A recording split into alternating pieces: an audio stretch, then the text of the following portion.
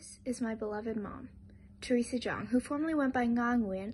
In 1975, she and her family were forced to leave Vietnam due to the fall of Saigon. Saigon. My uncle, Bác Nhạn, was a lieutenant colonel in the Vietnam Army, and he got us all on a flight to leave.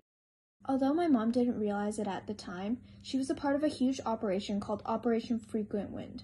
According to CNN, it was the largest helicopter airlift in history. By the time it was over, over 7,000 at risk American citizens and South Vietnamese were airlifted out of Saigon in under 24 hours. In hopes for a better life, they moved to the land of opportunity, America. As a Vietnamese American living in a predominantly white neighborhood, she stood out and had trouble fitting in.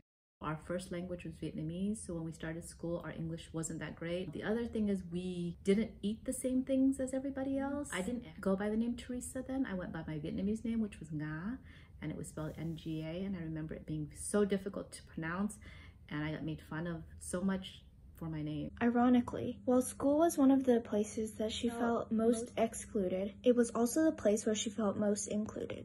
Even though we were made fun of in school, at the same time, if we worked hard and studied hard and we participated in class, we were able to show that we belonged.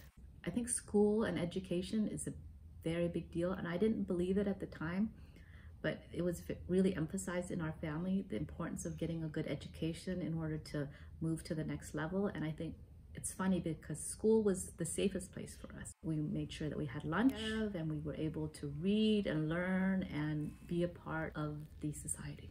Although she struggled with this at the start, she truly believes that immigrating to America was the best decision possible. If my family had stayed in Vietnam, I don't think I would have gone to college. My parents didn't go to college.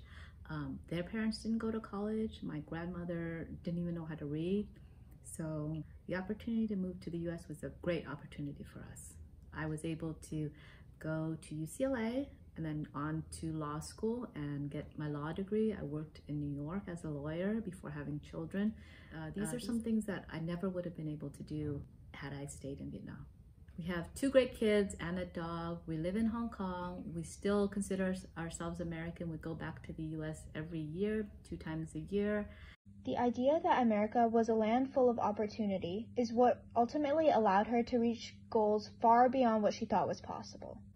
The American dream is something very, very special. It's an opportunity for anybody, no matter where you're from, no matter what your background is, to go to America, to work hard, to get an education, and raise your family and be successful. In the end, I'm very thankful that she immigrated. If it wasn't for that, then I might not be here.